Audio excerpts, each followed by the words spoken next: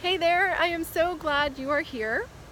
I'm Brandy Joy of brandyjoy.com and I help light workers awaken their spiritual abilities through ancient magical practices and tantric exercises. So I also have a YouTube channel called Brandy Joy TV. And today we are going to dive into an awesome spiritual awakening episode. And this is called Three Signs You Are Spiritually Awake and you don't even know it. So, the first sign that you are spiritually awake is that you have a high intuition and you have high empathy. And so, this high intuition, this high empathy, you'll pick up on other people's moods. You'll know when somebody is lying. You know what I mean? Um, you might even have a dream, and then the next day something happens, and you're like, whoa, that was that dream right? So it's where just things start happening and you just know things. You are able to read people really well, really easily, and you pick up everybody's moods.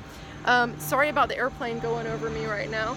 I'm actually downtown Orlando, that's where I live, and uh, airplanes come over sometimes, so sorry about that. But, anyways, um, so you have this like high intuition, high empathy, right? And you'll pick up other people's moods. So if you go into like a Walmart, for instance, you might be feeling everybody's moods, and it's just kind of like, ah, I don't want to feel that. So you don't like crowds a lot of times. Um, or um, it could even be that you pick up somebody's moods um, that you're close to that maybe they're far away. And then you find out later, like, um, why am I feeling this weird mood, like anxiety or something like that? And then all of a sudden you find out and you start thinking about that person and you find out that it was actually them, that they were having a really bad day or something was happening to them. Right? So that's the first sign that you are awake. The second sign is that you become really just tolerant and understanding. Um, you become just like more internally peaceful and more of an observer, and you're just like, whoa, like, what is going on that I can understand. And when somebody is even like projecting on me or in a bad mood or maybe even taking it on me, I'm just like, yeah, you know, just kind of rolls off you. you. That's when you know that you are spiritually waking up.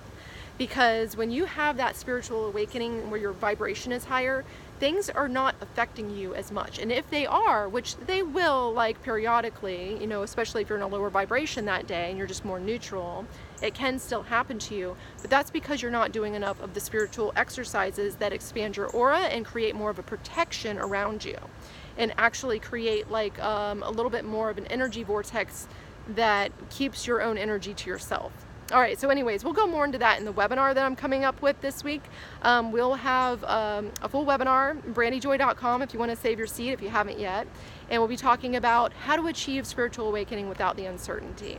But anyways, the third sign that you are spiritually awake is that you feel compassion. You feel surges of compassion come over you.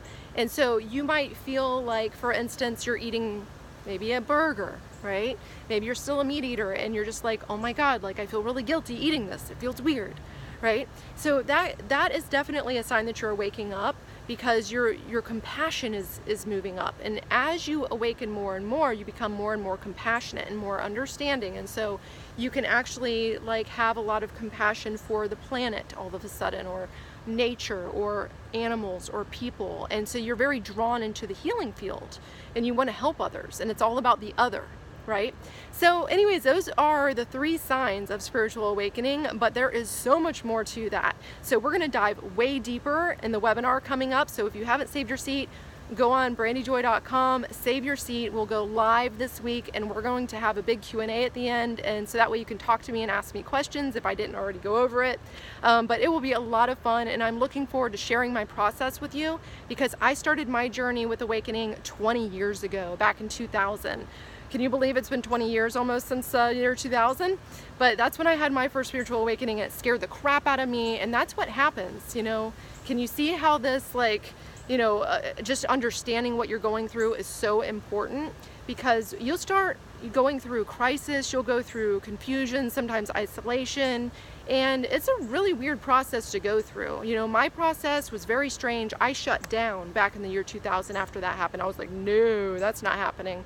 But then I had another big spiritual awakening in 2011, and that changed my life because I was a lot more open to it, and I jumped into like understanding the occult and understanding, you know, spiritually what was happening, and started studying sacred geometry, as you can see on my arm, right?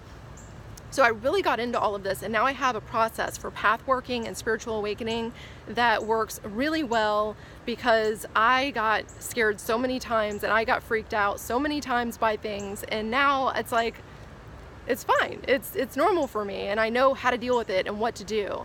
So join me this week if you haven't signed up, just save your seat and we'll have a live Q&A and all that fun stuff this week. So I will see you there. Remember brandyjoy.com if you haven't saved it.